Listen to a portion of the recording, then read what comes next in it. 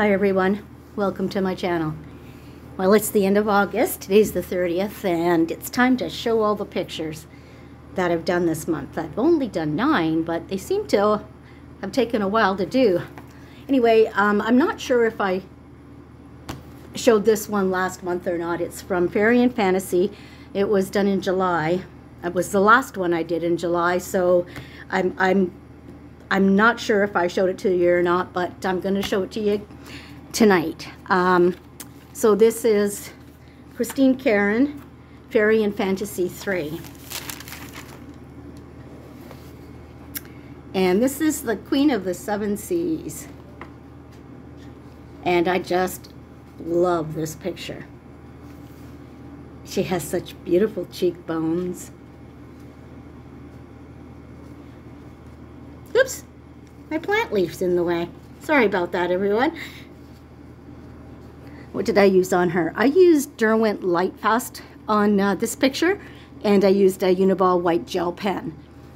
Um, I did do several pictures this month, also with the Derwent Lightfast, uh, to get used to them because they are a little bit different to work with. They're really soft and buttery. They're great to work with. Uh, it's a little bit um, difficult, I'm not going to say difficult, but a little bit strange for me because I'm used to working with uh, the polychromos, the oils. I mean, those are my favorite. So uh, the creamy texture of, of these Lightfast was wonderful to work with. Uh, just a little bit different to get it went on like if I pressed too hard there was color like wow instantly but she's but she's gorgeous I really like her I mean, it says Queen of the Seven Seas, but I could almost think she was an ice queen with the beautiful, that like the blue, the way it just turned out on it. So, that is Christine Karron, Fairy and Fantasy 3. So that'll take me to the end of July. So now I can start my August ones. So I started August off with a page in Kirby Rosanes' uh, Geomorphia. I haven't worked in this one before. I've had it for a little while, but I haven't really done anything with it, and wasn't quite sure how I wanted to, to work with this. And I move that plant. Okay. So this is the one I did. And it's quite um, quite a different kind of page. Let me see what I used. I can't I can't remember what I did with this. I know I did put some metallic in there in the clouds. All right, there you can see the gold. And I did outline the castle in gold too. Where is it? There. It's a late afternoon here, so there the sun isn't quite shining in this uh, east window. It's just light, so but you can see it. Now I did do, um, I silhouetted the dragon and the witch and the birds. Uh, just uh, and the and I blocked out the windows in the castle, and I did. Um, it's not exactly black, but it's deep, deep, deep purple here.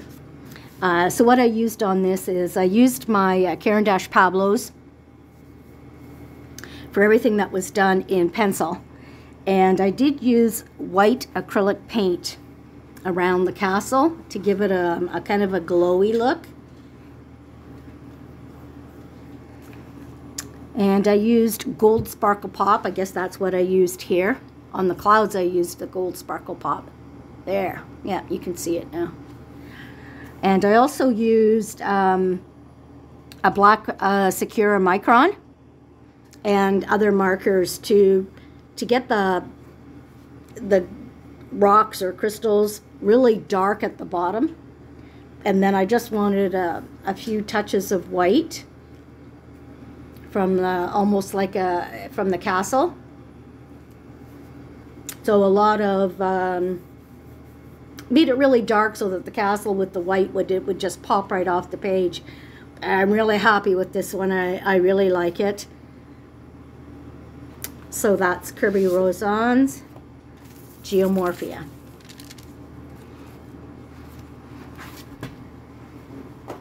this is kind of different.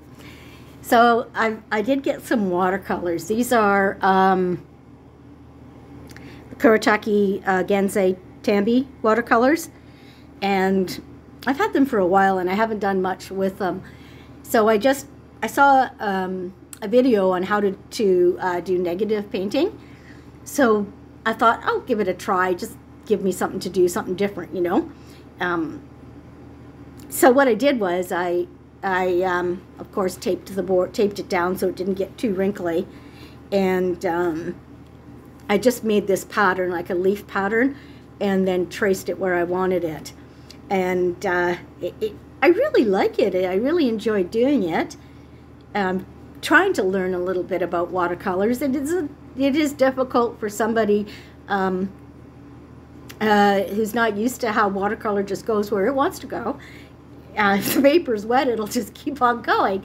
So yeah, it was it was very interesting doing this. I had a lot of fun doing it, and I'm gonna uh, I'm gonna practice doing more negative, like this. It's uh, it's just very interesting. So I used lots of different colors, and uh, it came out pretty good. So that's kind of like original, original Pat. Okay, so the next one is in my mouse guard by David Petersen. Oh my goodness, where did it go? I'm sorry about this. I usually have a marker. This time I don't have a marker. What number is it? 252. Oh, I feel silly.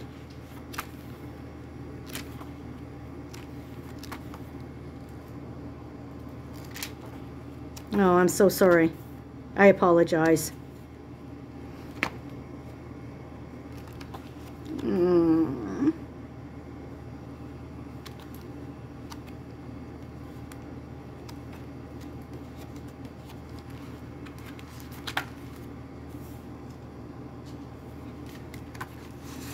As you can see, I have some that, that um, need to be finished.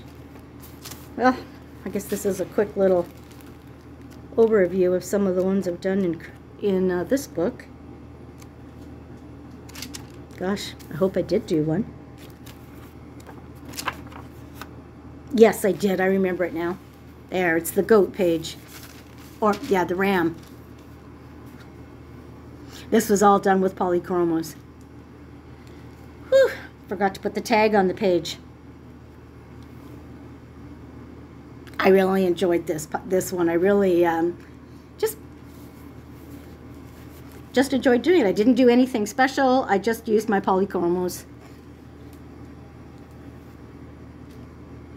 Some blue, some green, some red, and I just made that ram just whatever color I had in browns. Yeah. Nothing too special, but I kind of wanted to get it done because I had the frog done from a while ago. So, okay. That's David Petersen's mouse, mouse guard. So the next one I worked on uh, was Whimsy Girls Celebrate the Holidays and Festive Occasions, Hannah Lynn's. August, I believe. Yep, this is the one. It's, um,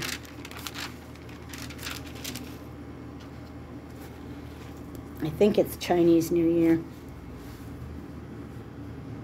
She's so, she's so cute, isn't she? I like her. I didn't make the hair very dark. Maybe could have made it a little bit darker. But what I used on this was my uh, polychromos. I used, I did use a Prisma white, and I believe I used that a little bit over her shirt right here, and a little bit um, on the eyebrows of the dragon. I did use some Pentel Sparkle Pop, and I did use Jelly Roll Glaze. I used the black Jelly Roll Glaze for his tongue, and the Sparkle Pop is the gold here on the dragon. Come on, come on. See it a little bit there. And I also used um, the gold Sparkle Pop on um, her outfit, her kimono the edging, and then also the lanterns, the just the banding on the lanterns and then some of the fringe on the bottom. And uh, up here on the dragon, the design on the ruff of his uh, neck and uh, down his some of the scales down here. I did use um, the gold sparkle pop on that also.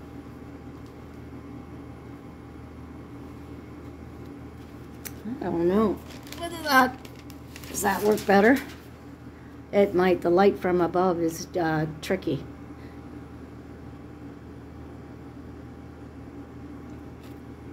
So that's Whimsy Girls through the holidays and special occasions or festive occasions by Hannah Lynn. It's a big one to to bring up and down, isn't it? Kind of gets in, kind of hits the camera every time. So next I worked on uh, Friendship, Vintage Grayscale, Grayscale Art by Rachel Mintz. And I completed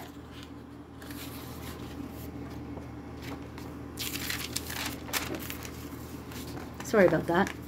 I completed this page here.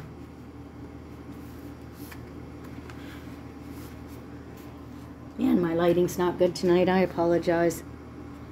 Let's see if maybe that'll help. Oh, that might help a bit. There. What a cute little double, eh? So this one was uh, done with polychromos and Pablos. I didn't use any gel pens or anything like on it, like that on it. Just used my trusty Pablos and uh, Polychromos. The dandelions, I had a little bit of fun putting them pinkish color. I kind of went by the the colors on the front for the dandelion because yeah I don't know how to do dandelions or anything like that. So I just kind of uh, took Rachel's guidance and uh, did the best I could. And I, I like him. He's cute. Everybody I know loves this little guy. So that's Rachel Mintz, Friendship, Vintage Art Grayscale.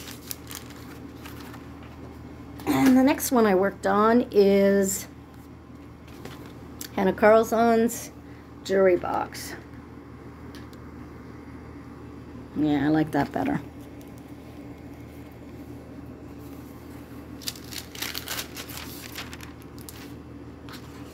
So this page, I did use a stencil with some, I believe this was um, Distress ink. take a look. I did um, use Distress ink, and then everything else, like the, the pencils, were um, my Caran d'Ache Pablos, and then I did use a Uniball Signo. Uh, the silver here on the crystals. There, there, yep. And on the uh, apples. But I really enjoyed using just that stencil and some distress ink. It's kind of hard to, uh, for me to imagine what would go around this. And I didn't want to color the whole thing in or paint it all. So just thought, ah, some green, kind of the same color of those leaves. And yeah, just a stencil of circles. And I just made them all over the place. I, I really like it. I really like how the, uh, the Sparkle Pop sparkles there. So that's Jewelry Box by Hanna Karlzon. I don't know if anybody's heard how she's doing or anything like that. If anybody knows, maybe you could leave it in the um, comment section for me. And next I worked on Flora by Maria Trolle. And what did I use? I used my Derwent Lightfast in this one.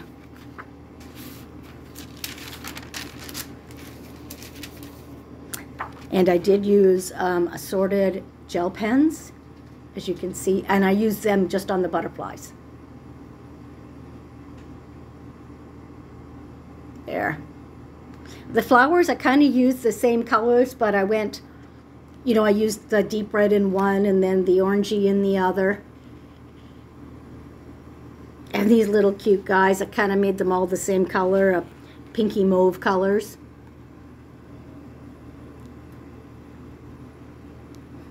I, I really like this picture. I, th I think it turned out well. Still like it. I love the butterflies. They turned out so sweet with the uh, gel pens. And the flowers, I, I, I really like the flowers. The They've got the similar colors and some of the same colors, but they're all different. And this is where I, I, I had some more fun with the uh, Light Fast. Uh, the leaves over here are much more vibrant. I, I put much more on than I, I intended. And wow, did they ever come uh, get nice and bright. And then over on this page, I tried to subdue it a little to see uh, the difference. And and you can see the up top these leaves are a little bit brighter and then these ones down here I made them just a little bit lighter to um, to see if I could well kind of monitor the difference I guess and see which one I like best. Still haven't made up my mind but I did like working with them and on this kind of paper they work they're lovely. So that's Maria Trolle and Flora. Excuse me. Then the next one was um, Fairy Tales by Emelie Lidehäll Öberg.